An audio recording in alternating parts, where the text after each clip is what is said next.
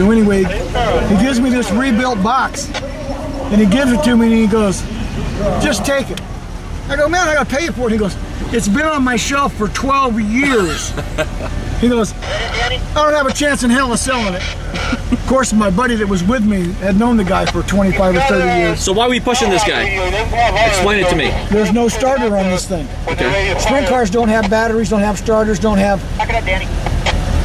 You got to push them, get throttle pressure or get uh, How fuel fast pressure. does he need to get up to go? They're lined up to exit out of turn. Some of them fire 25 to 30, some fire 35 to 40. It depends. That's fine. Some of them you don't even get rolling and they'll fire them. It depends on the driver, the motor, the on and on, on and on and on. Hey Steve, these guys are going to be coming out hot, right? Hey, go ahead and send the police car. Okay.